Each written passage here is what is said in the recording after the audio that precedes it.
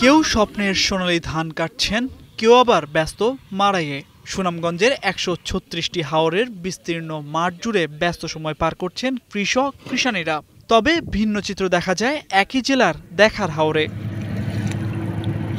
সুনামগঞ্জ সদর উপজেলার মধুপুর গ্রামের কৃষক ইউসুফ আলী। মহাজনের কাছ থেকে চড়া সুদে টাকা এনে বিশ একর জমিতে রোপণ করেছিলেন বোরো ধান। তবে ছয় এপ্রিল থেকে শুরু হওয়া চৈত্রের টানা তিন দিনের বৃষ্টিতে তলিয়ে গেছে তার সব স্বপ্ন। আলের তলে দিছি তোমার মনে হয় দশ হাজার টাকা সারে খাসা দাম সাইরানা দান কামাইতো নাই তাতে ধান কাটছিলাম তো পেটের জ্বালা গেলে কাটছিলাম আসপুরুকে না? শুধু ইউসুফ আলী নয় বরং হতাশার একই গল্প শোনান জেলার সাত গ্রামের শতাধিক কৃষক। তারা বলেন বৃষ্টির পানি নিষ্কাশনের জন্য দেখার হাওরে কোনো পথ না থাকায় সৃষ্টি হয় জলাবদ্ধতা। এতে তলিয়ে যায় কৃষকদের আধা পাকা ধান। আমরা এই যে কষ্ট করি গৃহস্থিটা রেন ফেন করে দেওয়া করলাম তখন আমরা চলতাম কিলাম। যদি বানতে হয় ইয়া ওর দান করা যাইব না। পানি দেওয়ার রাস্তা যদি না থাকে তাহলে ওর দান করে আমরা লাভ হইতো না। আমরা ডুবরা পানি আমরা এই তর করে দিয়েছি কাঁচা ধান আনামত লেগে গেছে ওখানে যাবার কোনো পথ নাই।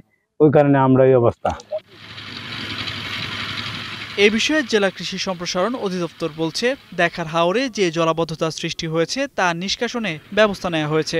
পাশাপাশি ক্ষতিগ্রস্ত চাষিদের তালিকা করে ঊর্ধ্বতন কর্মকর্তাদের কাছে পাঠানো হবে। জেলা প্রশাসক মহোদয়ের সহযোগিতায় আমরা এটা নিষ্কাশনের জন্য ব্যবস্থা গ্রহণ করছি। আমরা আশা করছি যে চাষিরা আহ, তাদের যে এটা ক্ষতিটা পুষিয়ে নেওয়ার জন্য আমরা চেষ্টা করে যাচ্ছি।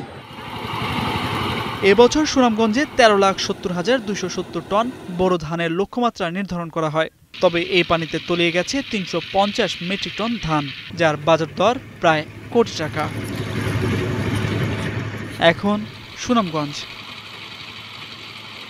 সানবিট সব দিবে সামাল। সানবিট ম্যাজিক প্রেস ডিশওয়াশিং এর মাথা ঘোরানোর সলিউশন